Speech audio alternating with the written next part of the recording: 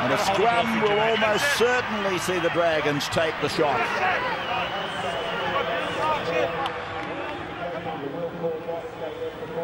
Well, There's a hand. There's a hand, all right. But he got away with it. Now, as Ray points out, you would think that Jamie Soward would just go in behind the scrum, a little bit to the left. He go straight away, Sterlo. Looks like it. Well, Greg Bird did to win one in Golden Point against the Raiders earlier this year, and he made it look easy. And here it is with Prior. And Prior, 15 metres out. Hornby to the middle of the ground for Merrin.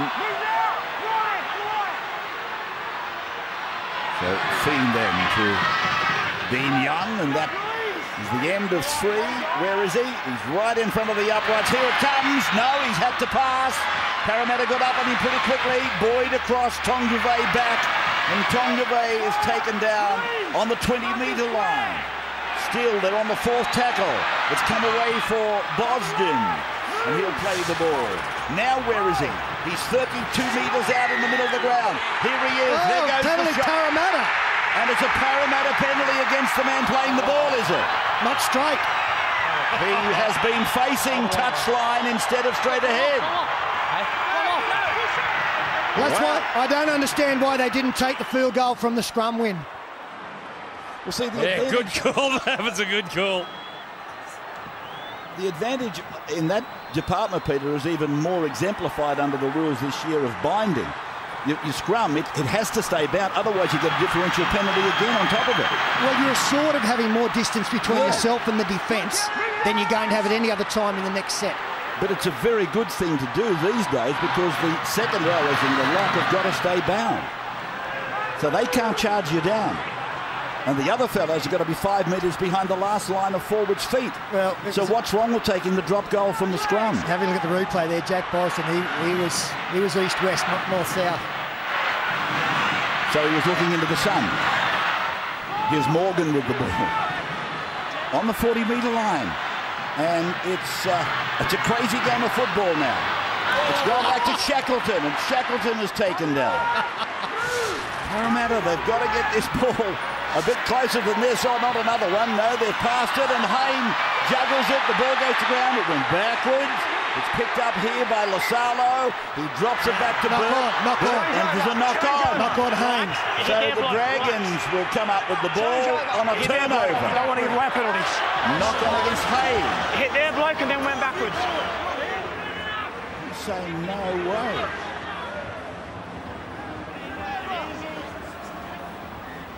Oh, well, I suppose it might be tit for tat. Here's a chance for Nightingale.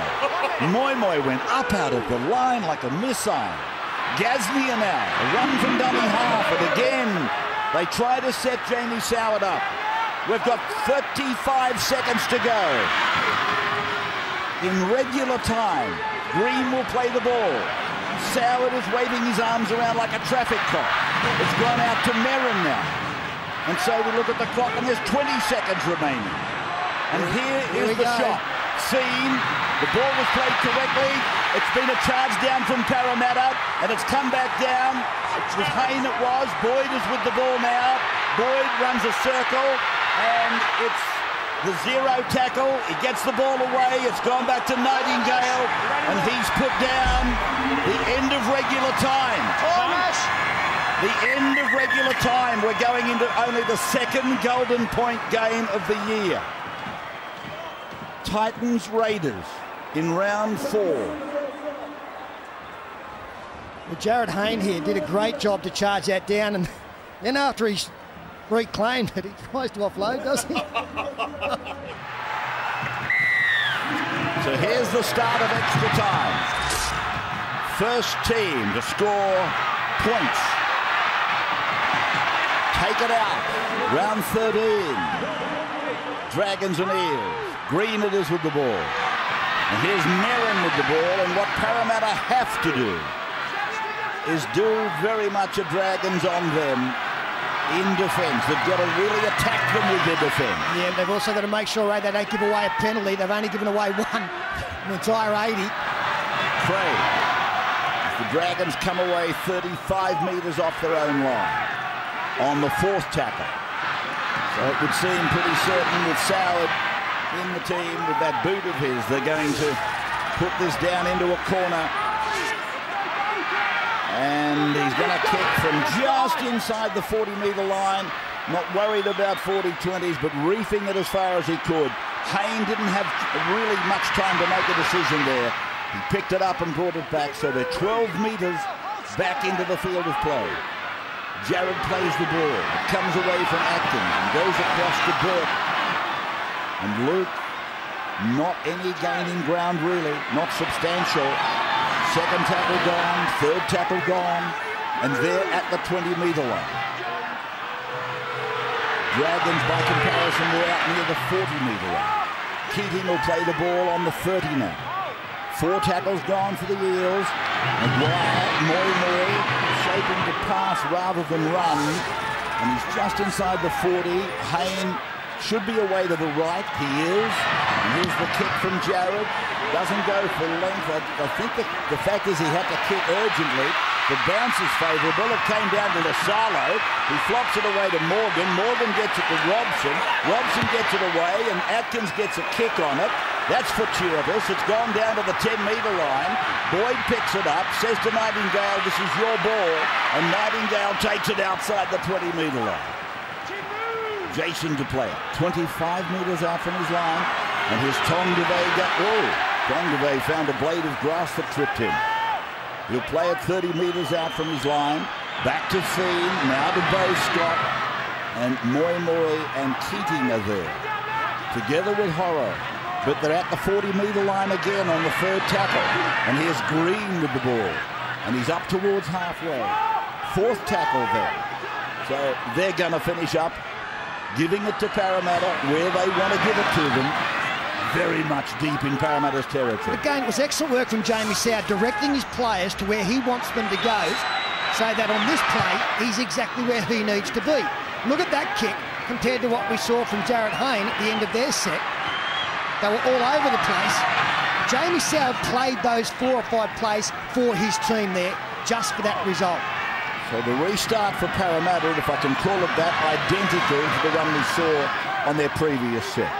Jarryd Hayne bringing the ball out of his own end goal off the Jamie Soward kick. And as Peter pointed out, he orchestrated the whole set to suit himself. And then he put the icing on. His manner with a run that is good. He's 38 metres out from his line. Four gone for Parramatta. Across now for Robson, then Moi, now Hayne. He floats a torpedo out, finds a target in Burt, and Burt is taken down. Almost on the halfway line. Players on the western side of the ground. It's gone to Hayne for his kick. He's gone for another drop goal. My goodness, he has got some length about it. That had the length. It did have the length. You're quite right. I didn't imagine he had that sort of kick in him, but there it is. It's on its way. Look at the length, look at the height. It was satisfactory had it have had the line. And there's the anguish. How far out was that, Sterlo? 55? I don't know. I just thought they kicked the length. I think it was about 55.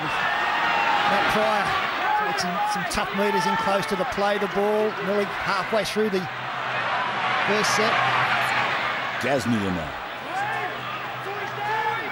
Just on the side of halfway. Coming up towards five minutes gone in extra time. Young.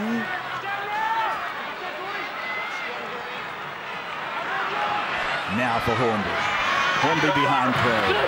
Boyd is with the ball. 35 out. And this will be the last play in the, the first. Gonna have a go, Period. Howard. Here is Hornby taking the shot. And it has not got the height nor the direction. And the ball goes dead.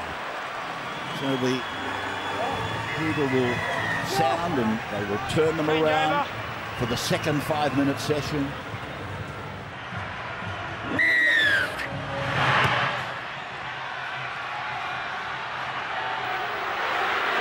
Sixty-four tackles made by Nathan Hindmarsh. 64. by the captain as it goes to Tim Mannah, and Mannah is able to make valuable meters. And I emphasise valuable in view of the fact they're playing against this Dragons team, and Keating got a ball off to McGuire. Great tackle, Soward. It was, and here is Hayne taken by Soward. Referee says it was okay. And played by Hayne, you might call it a wasted play. Robson for Moi Moi. Moi Moi running it at prime, 40 metres away from the line.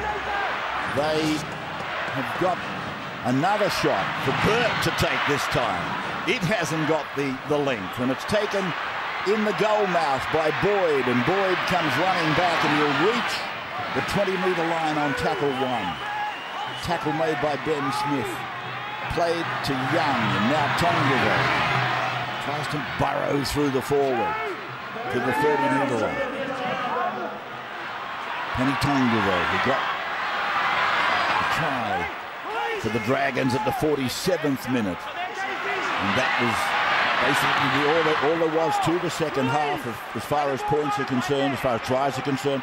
Played by Scott, now with Hunt. Ankle tapping tackle by Loco. They're setting it up though. Here's the last. They've gone to him. There's Soward. And it's not a good kick. It's an awful kick by his standards. It's down to Burt. Knocks it back the first time. Brings it out to the 10. Tries to cut through. It's actually not a bad result if you were kicking for field position. Jamie Soward is Jarryd Hayne. Second tackle outside his own 20.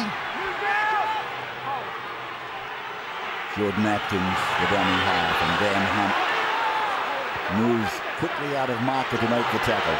Now it's with Lasalo, and Lasalo is tackled inside the 40-metre line. Fourth tackle gone against the Eels. We're in the second session of extra time, and Mannah it is who plays the ball for the kick of Robson. He aims it down towards the, the goal line area, and here's Tongave coming off his own line. Where's the chase? Where's the chase? Hindmarsh leading the chase, but he's still got it out to the 20. Admittedly, they're tired as we come pretty close to the 90th minute of the game. Here is Fien, taken by Moi Moi. He's racked up 38 tackles in the game. Away for Craig. And 38 tackles for Fui Fui Moi Moi is, is about 60 odd for Nathan Hindmarsh. And here's Hunt putting himself into the defence line, strong to the halfway line. 14 all. 88 minutes of the game gone. Hornby away, Boyd on, Tongave, Tongave, Morgan's got him. Oh, tackle. Put him into touch with a good shot. Good shot. The, blue and gold people, it's their turn to rejoice.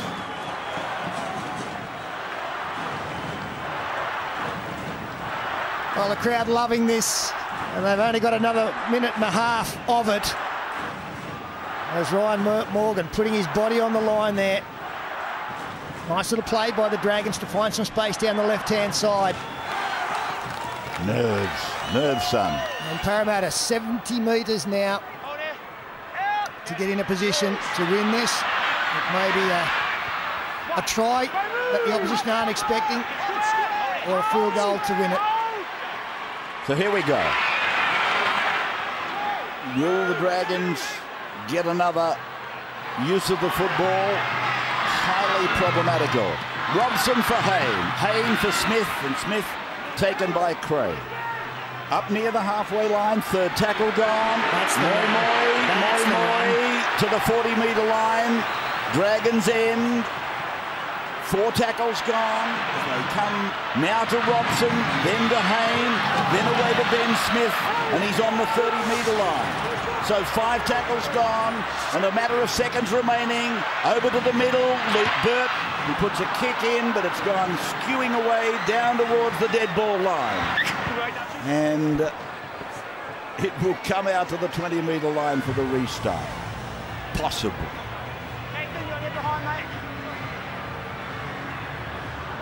What an entertaining game this has been. How good this?